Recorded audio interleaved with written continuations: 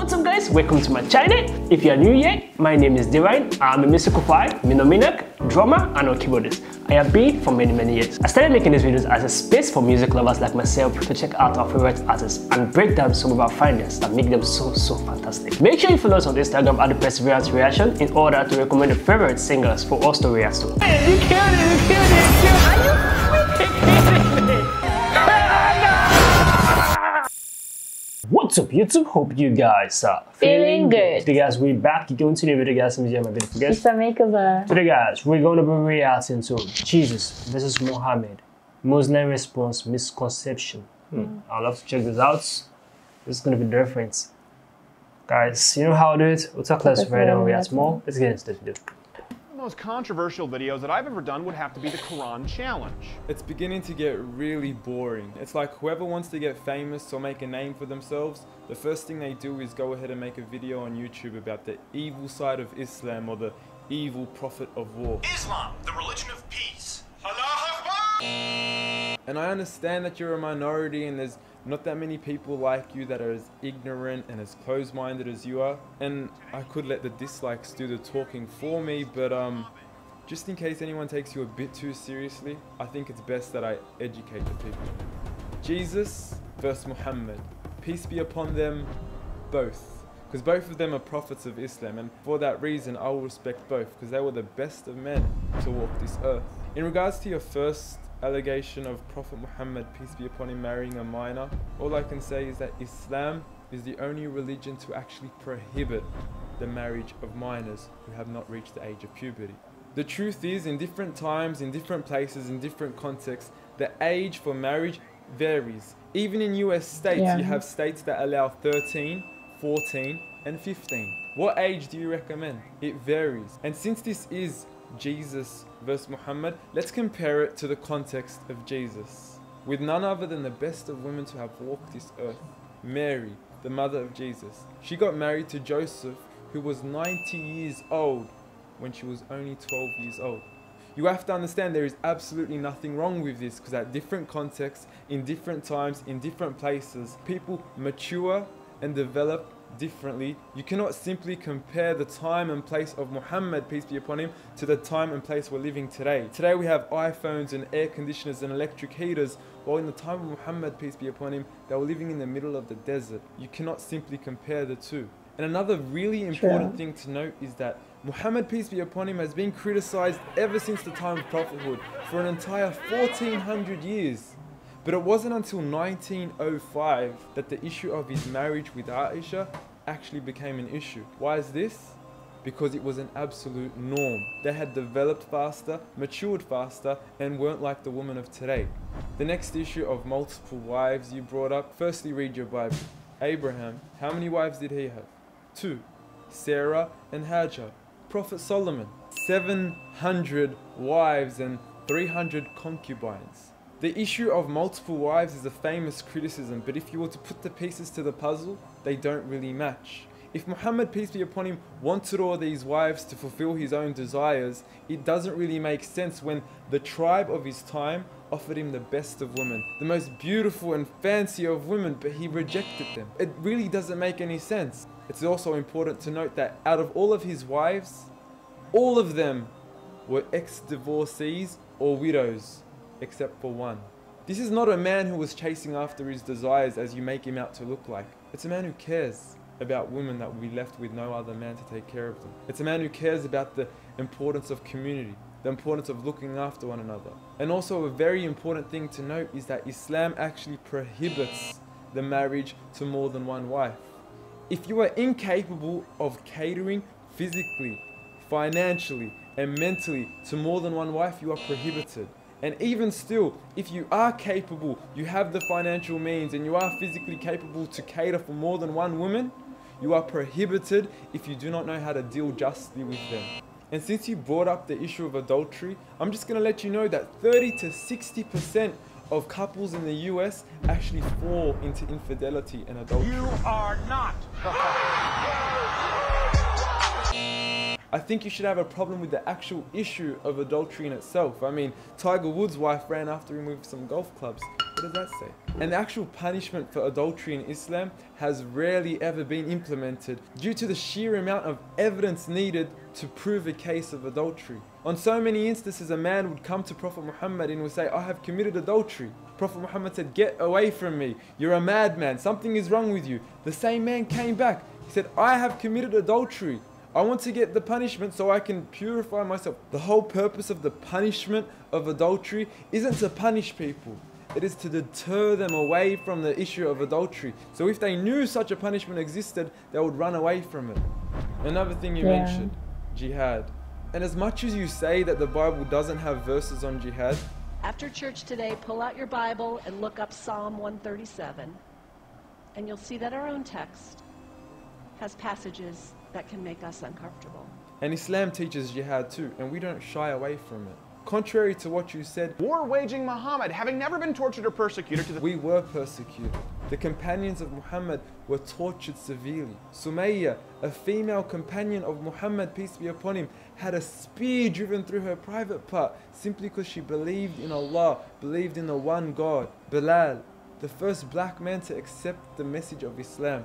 He was an Ethiopian slave. He accepted the message of Islam and he was given rights at a time when I've there were the no rights video. for his people. He was tortured for this. Even in USA, these people weren't even given rights until 100 years ago. Black people weren't even considered human beings. After many years of forbearance, after many years of persecution, after many years of torture, finally Allah had given permission to Muhammad to fight.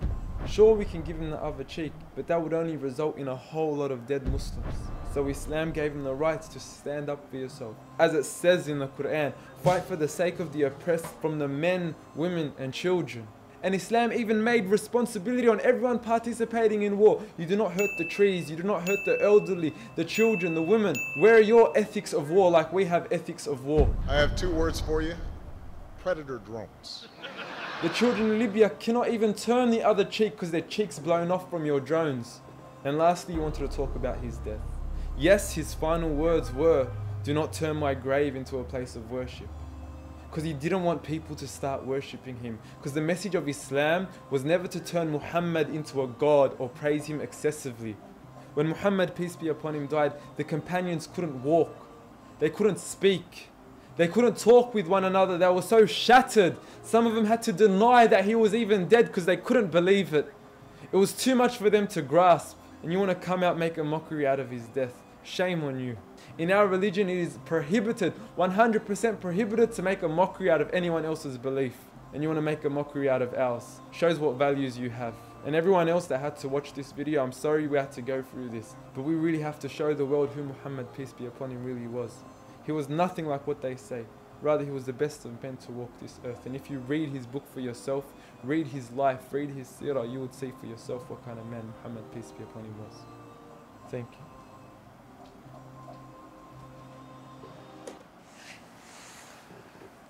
This was totally true.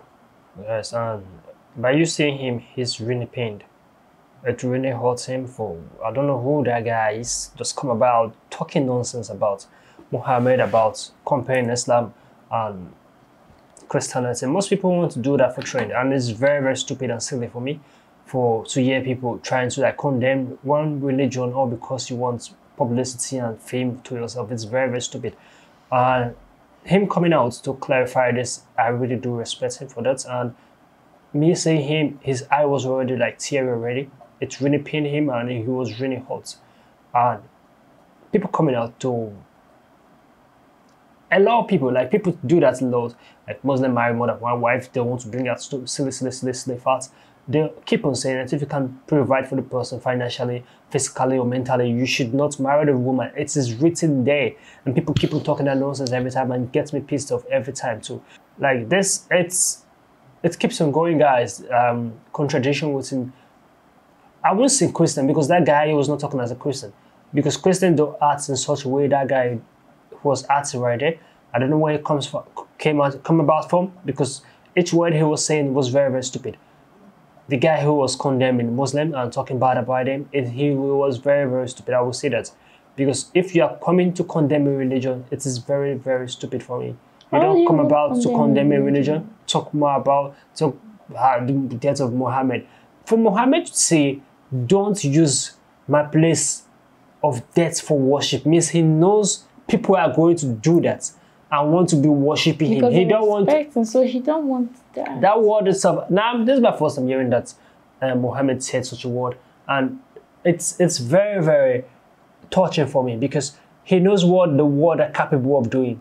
He knows what human beings are capable of doing. You know what they're going to do to go and be worshiping him. Bible said all worship belongs to God and he knows that people will want to go and worship him. So he wants their worship to belong to Allah. So he don't want man to go and be worshiping his grave. And that is a respect for that man itself. This is my first time hearing about that, and for me to actually respect him for that. And this guy coming about to talk about this, I respect him too.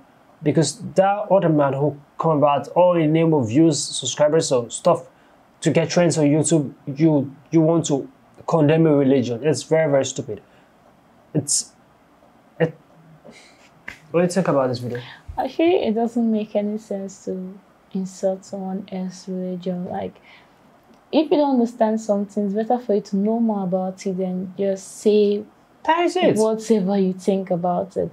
Just like we all have argument about the Trinity, about Jesus being the Son of God, but I feel we all respect each other when we're talking about it. You don't believe in that. I believe in like we all have boundaries. So you coming out and insulting the like, religion. It's, very disrespectful. It's very, very disrespectful because me saying like I feel very bad because I'm a Christian and I know if someone is to come out and insult my religion, I'll feel very pissed and very sad, honestly. So him saying it and he's saying it with a lot of rage and anger and it's it's very sad, honestly, because if you're watching it and your religion someone is talking like that, you feel sad, you feel annoyed, you feel disrespected, and that was so uncalled for. Despite the reason he was doing it, it was so uncalled for. Because before you be able to say something evil about someone or be able to put someone else down, make sure you understand the context of it. Have you read the Quran? Have you understand then why why are you just saying evil things about it? It does not make any sense even the Bible, there's violence in it. It, it preaches about it, it teaches about it in it. And I don't, I don't know if that guy is a Christian though, but I don't know why you say stuff like that because it doesn't make any sense. There, it's it's very very disrespectful and. While this guy was explaining it right here, I could feel he was hot, and I'm very happy that he just spoke in a nice tone because like he didn't come out with anger. He Yeah. explained everything. He spoke in very nice when you talk about that first black man that became a muslim i watched the video about him and it was very interesting. So i don't see why well, religion brings a lot of argument but i don't think you should criticize anybody's religion just to feel good about yours. It's very very uncalled for Guys, comment down below your first time um, watching this video. How was your reaction? Give us a thumbs up. Share this video to as many as can. Subscribe to the channel, guys. Know how to do it. We'll see you guys in the next video. Make sure you stay. Zip. I just want a bag, like an old lady. I'm backwoods smoking, I don't own papers, pass that 808. That don't, don't. Oh, bitch, you know I'm grinding like a pro skater. Baby mama bugging, I'm so quick to hit ignore. Buku bitches in my bed, I got scales all